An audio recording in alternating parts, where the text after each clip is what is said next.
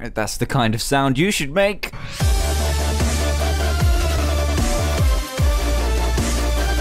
Hey there everyone, Dan here from the Diamond Minecart and welcome to another Minecraft mod review where today I'm going to be showcasing the Carboniferous mod which adds in a completely new dimension into your Minecraft game that transports you back in time all the way back to when ancient creatures ruled the earth. Now calm down, this is actually, I have myself a beautiful and legendary assistant named Dr. Trayaurus who is going to help me in this mod review to investigate this amazing new world that we've discovered. So how are you feeling today sir?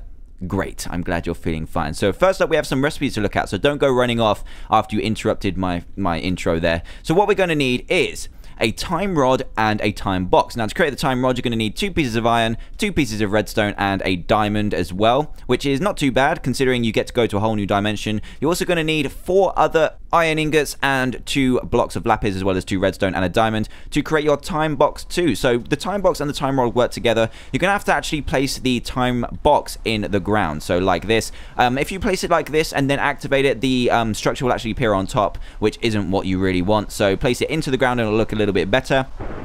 And wow, it's actually storming. So are you scared, Trayaurus? I hope not. You're supposed to be the bravest of explorers. So you're coming with me. So what you have to do to try and get to this dimension and spawn in the portal is you're going to need to right click the time box with the time rod. So let's do that right now. You need to stand back. Stand back, Trayaurus. Stand back.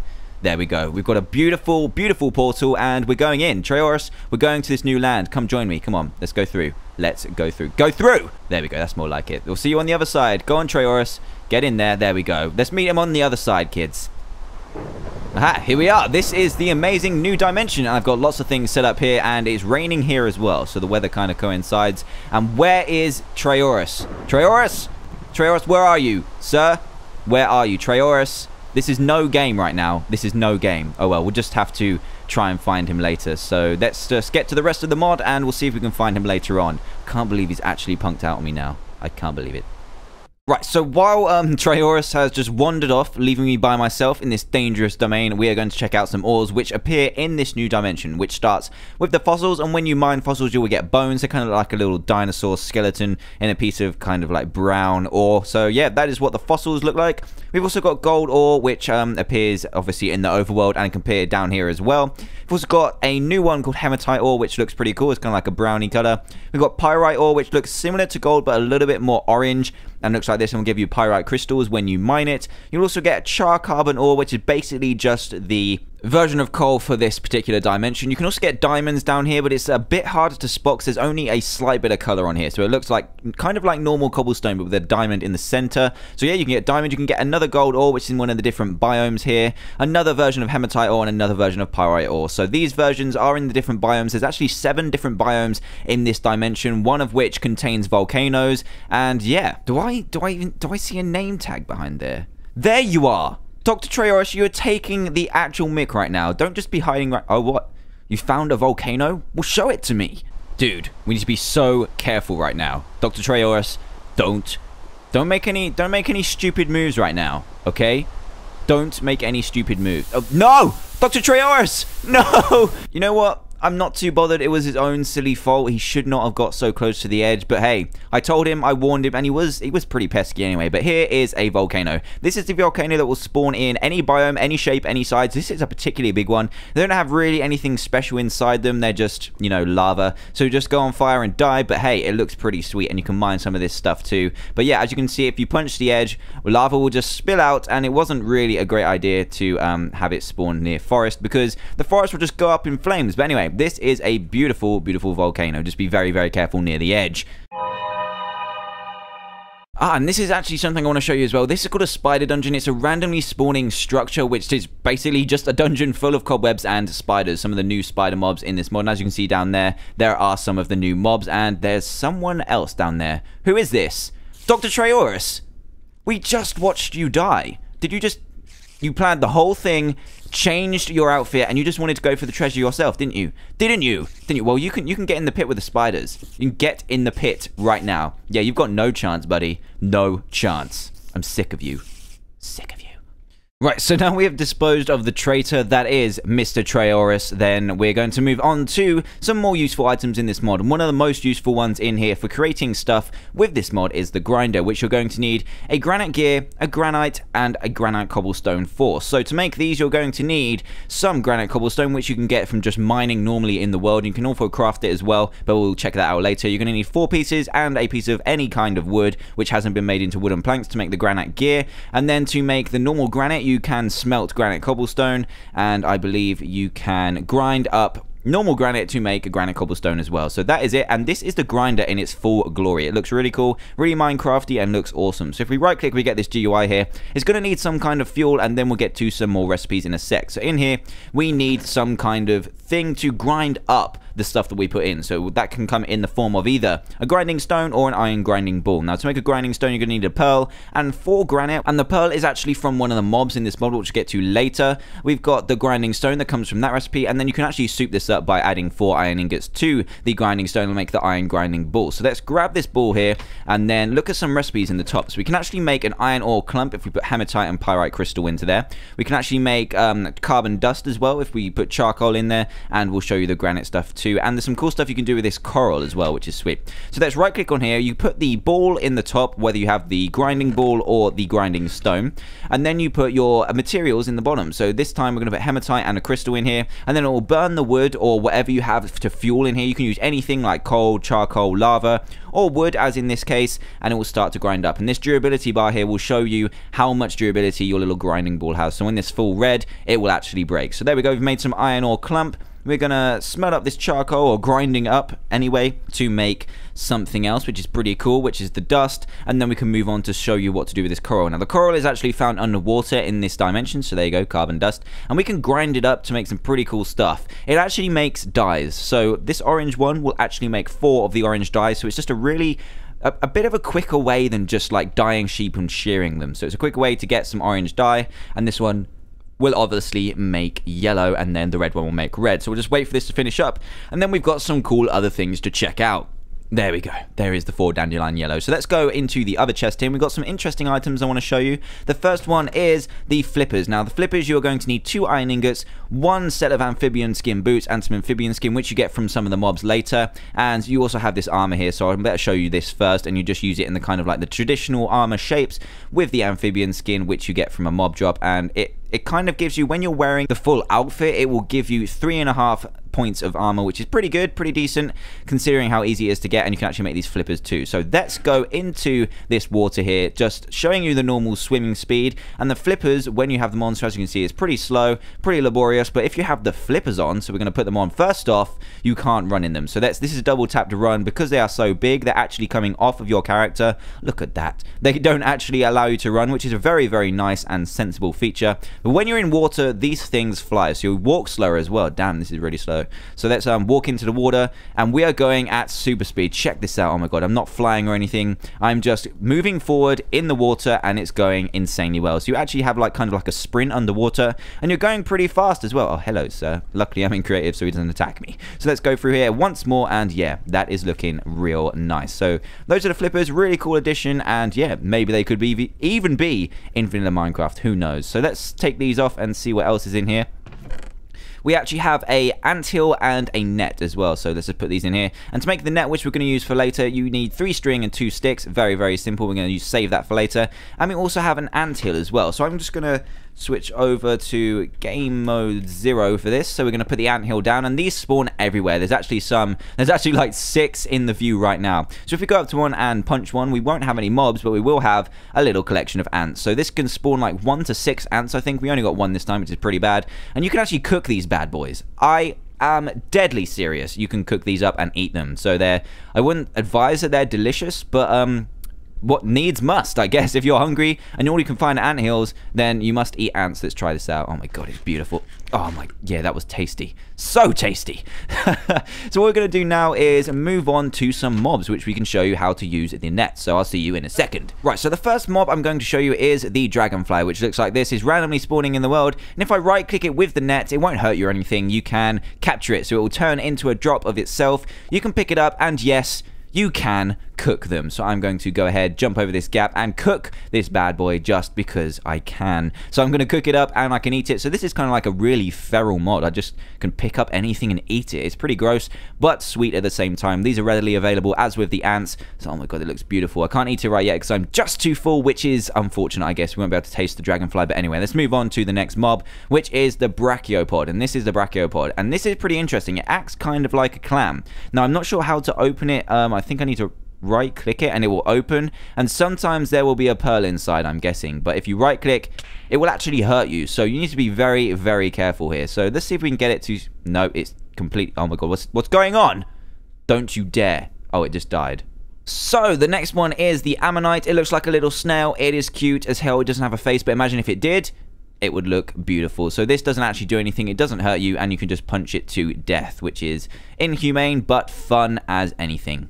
The next one is called the Dendro... Oh my god, I can't even say that. The Dendropeppaton, let's just say that. And this is the little lizard that we met earlier. It's not actually hostile, it doesn't actually do anything, but when you hit it, I believe it runs away, so it doesn't want to be concerned with humans at all, and it's fallen down. Let me put you out of misery, sir. Oh, okay, it's just run away. Let's just leave it at that. So up next, we have the Mesolola I can't say that one either. It's a spider. Look, it's a spider from the cave that we saw earlier. So let's take these guys out. Oh my god, it's really, really tricky to hit, and it'll drop a spider eye as normal, and cobwebs, I believe, as well. So those are really tricky. They're trickier than cave spiders, really small and annoying. So up next is the Orthacanthus. I can say that one. And I believe this is a fish. Look at this beautiful guy. He's not drowning just yet. But if we hit him, I believe he will start to suffocate. So he's looking really cool, actually. You can't actually do anything to him, but he's just a fish. He'll open his mouth while you hit him and suffocates. And we actually get some decent stuff from it. We get raw fish, and we also get shark teeth, which can be used in various things. So let's go into here. You can actually use them to make arrows, which is really cool. And if you get a feather, a shark tooth, and a stick, you can make five arrows, which is really great rather than the traditional one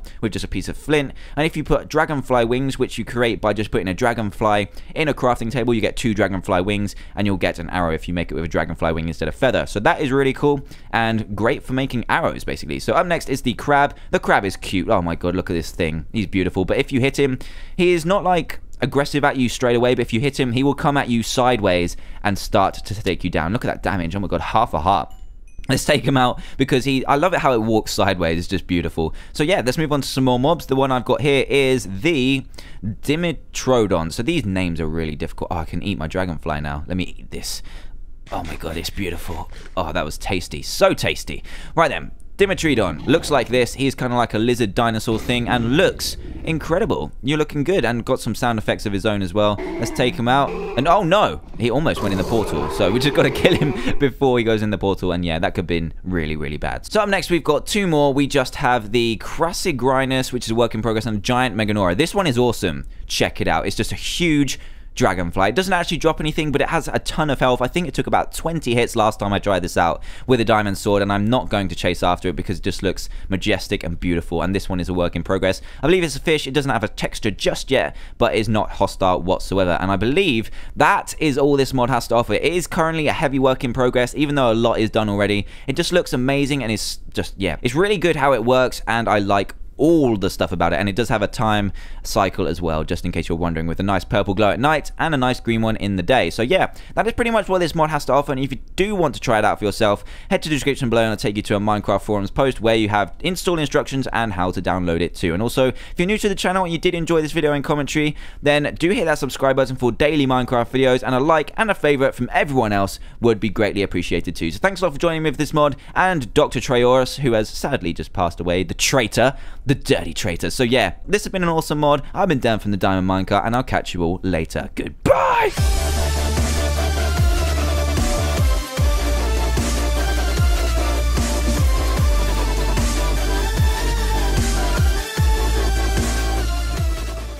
Ah! That's the kind of sound you should make.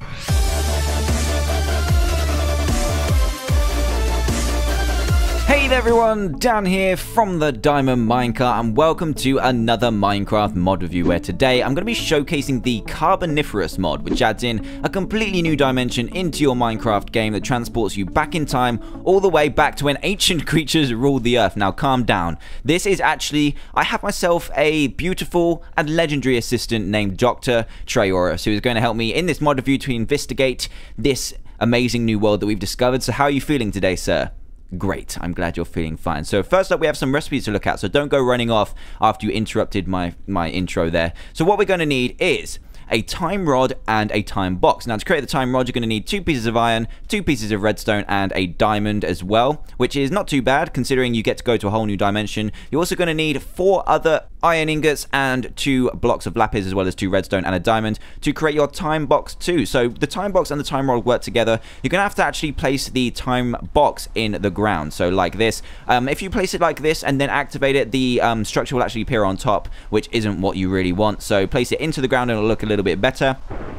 And wow, it's actually storming. So are you scared, Trayaurus? I hope not. You're supposed to be the bravest of explorers. So you're coming with me. So what you have to do to try and get to this dimension and spawn in the portal is you're going to need to right click the time box with the time rod. So let's do that right now. You need to stand back. Stand back, Trayaurus. Stand back. There we go. We've got a beautiful, beautiful portal, and we're going in. Trayaurus, we're going to this new land. Come join me. Come on. Let's go through. Let's go through. Go through! There we go. That's more like it. We'll see you on the other side. Go on, Trayaurus. Get in there. There we go. Let's meet him on the other side, kids. Aha, here we are. This is the amazing new dimension. I've got lots of things set up here, and it's raining here as well, so the weather kind of coincides. And where is Trayaurus? Trayaurus? Trayaurus, where are you? Sir? Where are you? Trayaurus? This is no game right now. This is no game. Oh well, we'll just have to try and find him later. So let's just get to the rest of the mod, and we'll see if we can find him later on. Can't believe he's actually punked out on me now. I can't believe it. Right, so while um, has just wandered off, leaving me by myself in this dangerous domain, we are going to check out some ores which appear in this new dimension, which starts with the fossils, and when you mine fossils, you will get bones. They're kind of like a little dinosaur skeleton in a piece of kind of like brown ore. So yeah, that is what the fossils look like. We've also got gold ore, which um, appears obviously in the overworld and appear down here as well. We've also got a new one called hematite ore, which looks pretty cool. It's kind of like a brownie color. We've got pyrite ore, which looks similar to gold, but a little bit more orange and looks like this and will give you pyrite crystals when you mine it. You'll also get char carbon ore, which is basically just the version of coal for this particular dimension. You can also get diamonds down here, but it's a bit harder to spot there's only a slight bit of color on here. So it looks like kind of like normal cobblestone, but with a diamond in the center. So yeah, you can get diamond. You can get another gold ore, which is in one of the different biomes here. Another version of hematite ore and another version of pyrite ore. So these versions are in the different biomes. There's actually seven different biomes in this dimension, one of which contains volcanoes. And yeah, do I do I even do I see a name tag behind there? There you are. Dr. Trayaurus, you're taking the actual mic right now. Don't just be hiding right- Oh, what? You found a volcano? Well, show it to me. Dude, we need to be so careful right now. Dr. Trayaurus, don't. Don't make any- don't make any stupid moves right now, okay?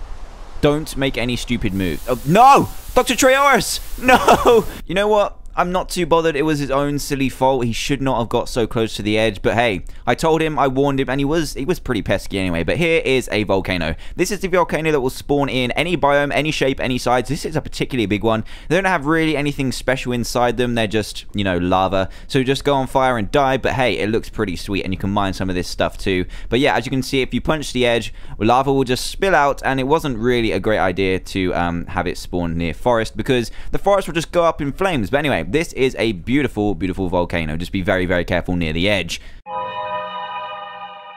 Ah, and this is actually something I want to show you as well. This is called a spider dungeon. It's a randomly spawning structure, which is basically just a dungeon full of cobwebs and spiders. Some of the new spider mobs in this mod. And as you can see down there, there are some of the new mobs. And there's someone else down there. Who is this? Dr. Trayaurus. We just watched you die. Did you just...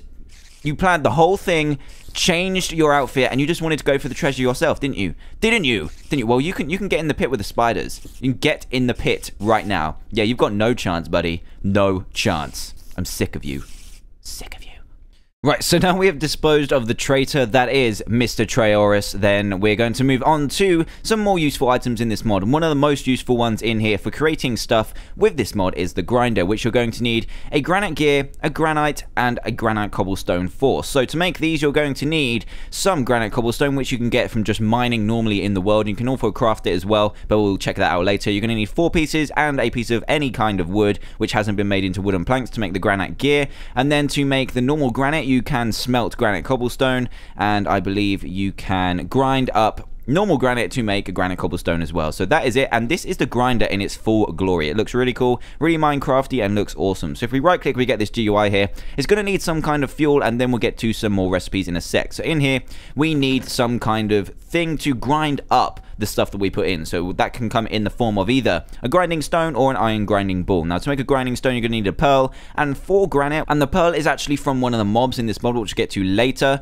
We've got the grinding stone that comes from that recipe. And then you can actually soup this up by adding four iron ingots to the grinding stone and make the iron grinding ball. So let's grab this ball here and then look at some recipes in the top. So we can actually make an iron ore clump if we put hematite and pyrite crystal into there. We can actually make um, carbon dust as well if we put charcoal in there. And we'll show you the granite stuff too. And there's some cool stuff you can do with this coral as well, which is sweet. So let's right click on here. You put the ball in the top, whether you have the grinding ball or the grinding stone.